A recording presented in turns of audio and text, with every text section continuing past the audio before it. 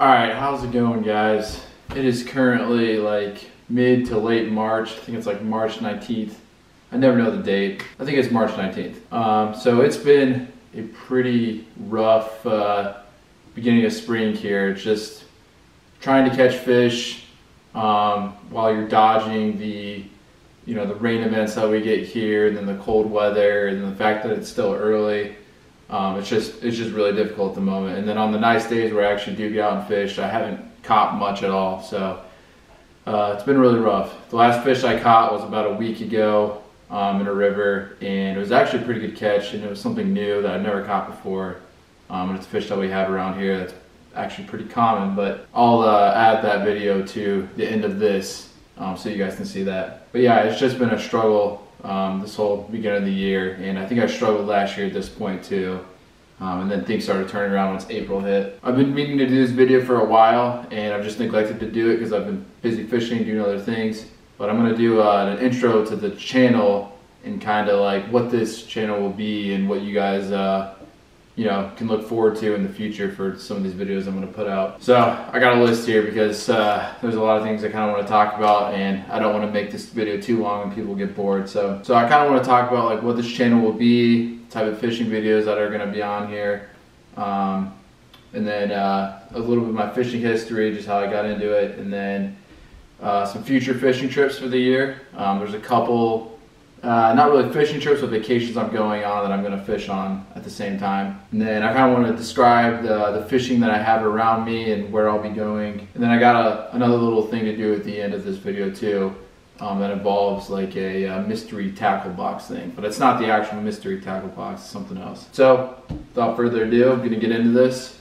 Um, you guys haven't watched any of my videos, uh, welcome.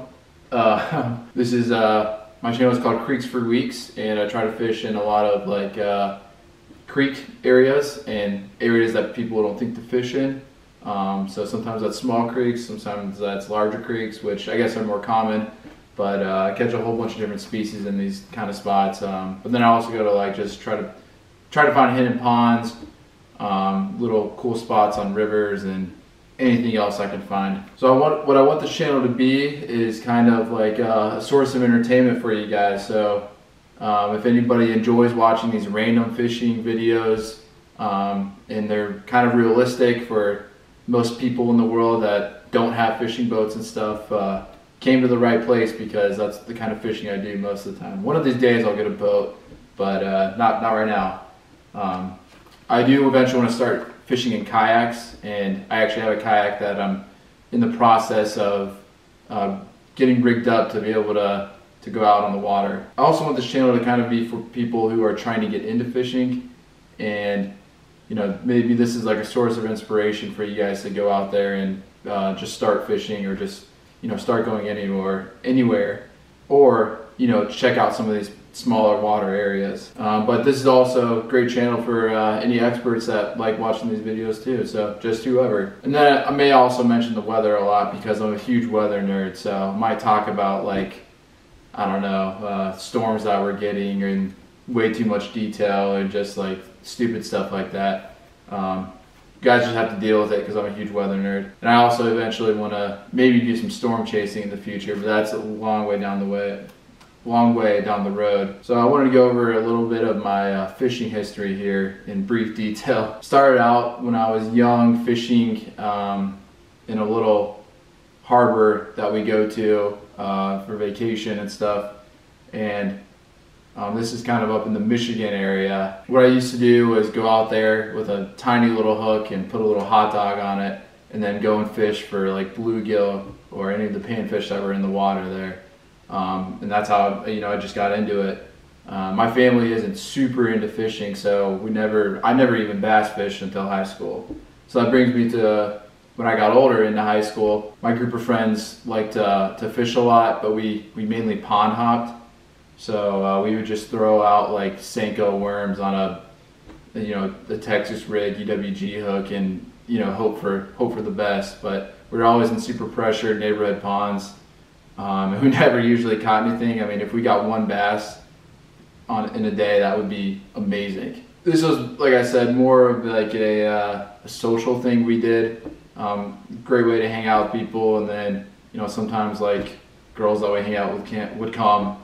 But I always enjoyed the fishing aspect of it. But I, you know, I never really uh, got super into it at that point, just because there's no driving force for that. Fast forward to 2020, uh, right when coronavirus hit, COVID, um, and everyone is quarantining, staying at home, and getting uh, a little stir crazy. My dad and I went fishing to like a local little creek and did exactly what I used to do when I was 10 years old. We threw these little hooks out with uh, with hot dogs on them, and we caught like green sunfish and things like that, and it was so much fun. And from then on, you know, I've been hooked. So that year of 2020, I kind of like went around our creeks and just fished whenever I had time, um, but I didn't actually record anything, and that's kind of where I started learning, you know, how it works. I started getting a lot of recommendations from YouTube from channels where they do like creek fishing. So really good channel that is one of my inspirations is Creek Fishing Adventures. He does some awesome fishing videos, uh, and he's down in like Tennessee,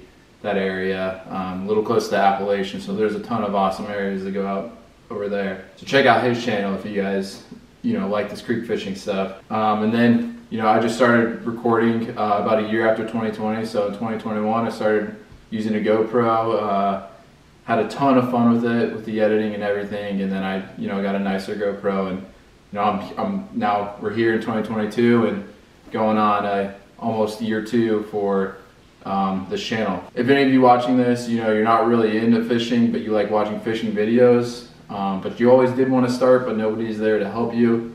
You know, that that's kind of the case I was in. I didn't have, uh, you know, I guess a mentor with fishing. Um, so I, I love my parents. Um, I love my dad, but his main hobby is golfing, which I love that sport too.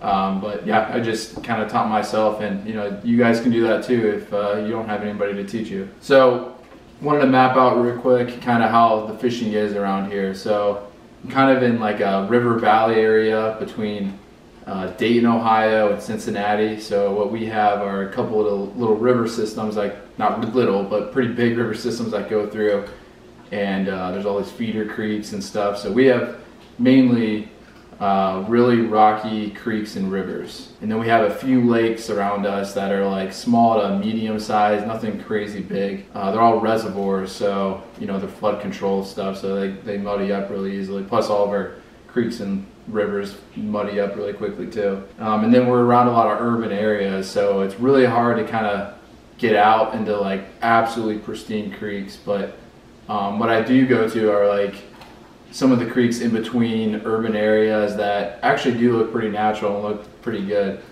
Um, so sometimes it doesn't take too long to, to get out into a creek and make it look like you're out in the wilderness. But you know, I'm not going to anywhere like you, you see in the Appalachians, things like that.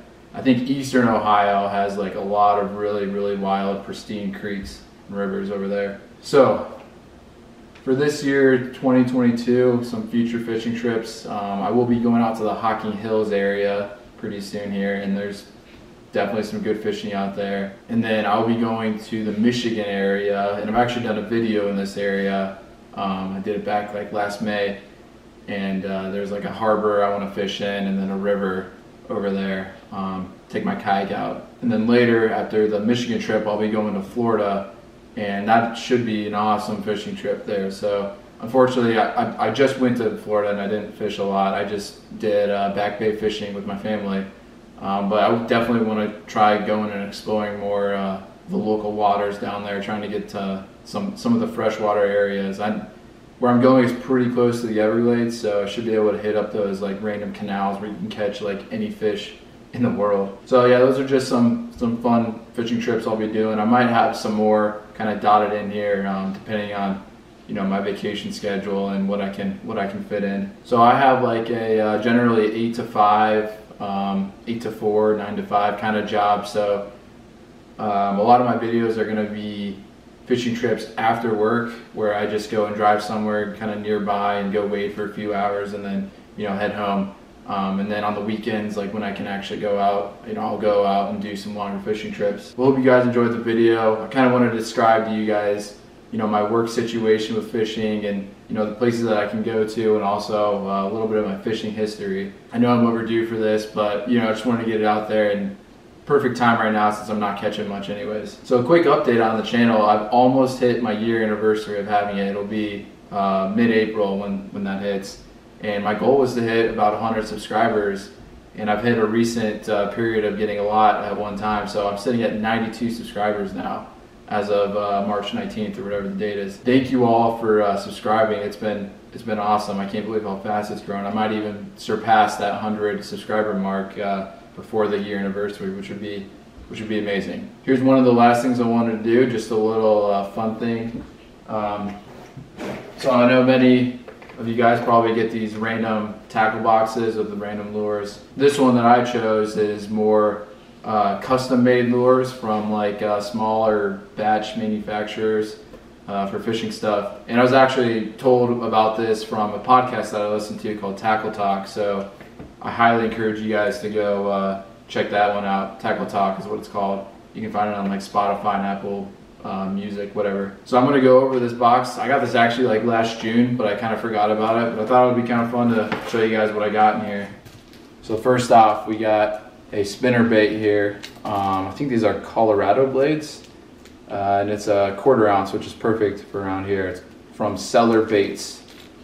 So that's what it looks like. It's got like a chartreuse color and a white clear color with black spots on there. So looks like it'll be good to put a trailer on there. And uh, yeah, that'll be that'll be awesome for this time period. Next, we got some stick baits called uh, the Do- Dojo Worm, GP Blue Goat color, 6.5 inches. Um, and it is from Third Eye Bait Company. So those look awesome. And they're the kind of green natural color, so that should be really, really good. I don't usually use stick baits this size. Uh, I think the biggest I use is like four inches, so I'll be using this where I, when I know I can catch some big fish. And then I think they gave us some hooks to match with this. These are uh, Jigmaster hooks, which I've heard about this company and they think they're really good. And these look like uh, more shaky head style jig heads, so it'll still work for those uh, those stick baits for sure.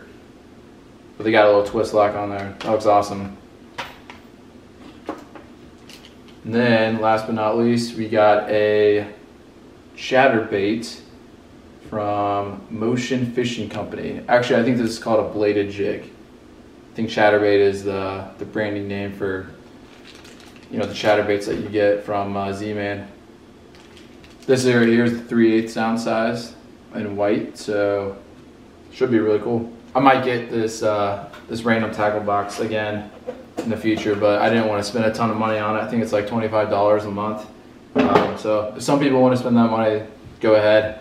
Uh, for me, I just I just wanted to get one and see what it was like, uh, but I might do it one more time. All right, well, I hope you guys enjoyed the video, and like I said, it's springtime right now, so I'm gonna keep trying to go out and fish and catch stuff, uh, but like I said, it's been rough, so hopefully I'll be getting some new videos out soon. But stay tuned, I got a little video here kind of uh, showing the most recent catch I have and uh, something new, so hope you guys enjoy that. See you in the next Creeks for Weeks episode. All right, I'll see you guys next time out on the water. Hope we do that. All right, I'll see you guys next time on the next Creeks. All right, I'll see you guys next time.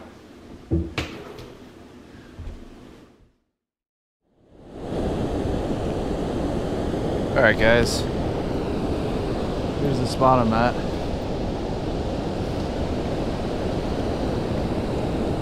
Look at that. Maybe I'll take a picture of that.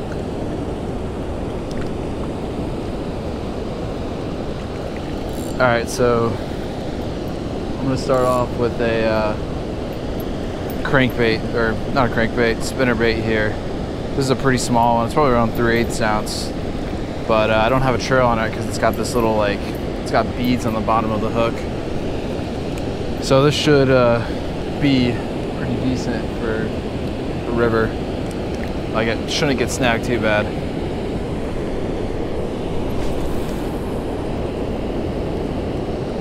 Much of a downsize but I'm using like a quarter ounce swim bait here. These are the crappy ones you get at Walmart that I don't know, five bucks for a pack of five. And uh, I just don't really like them, so I don't really care if I lose it. But uh, it's not as loud, a little more subtle. It's still kind of big.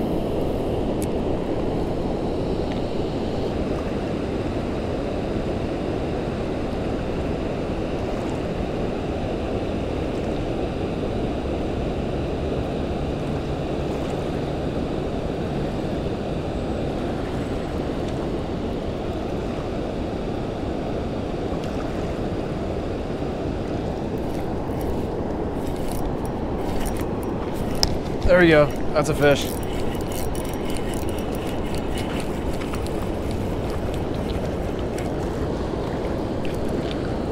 Oh my gosh, this is my first saugeye. First saugeye ever, guys. Ah. All right, check that out. That is a saugeye, I think, or a sauger. I don't think there's walleye here. Look at that. I don't want him to hurt me. Look at that. Get him with the light. Beautiful.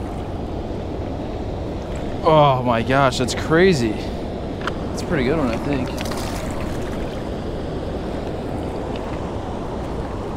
There we go. I will take that. I was actually going for smallmouth. I didn't think I didn't think a saugeye or sauger was gonna go for such a big swim bait. This is what it was. This swim bait right here. I think it's about like four inches. Alright, calling it quits. It's getting dark and there's a bunch of kids that came down to the river throwing rocks in it, so they might be scaring away all the fish. That's alright.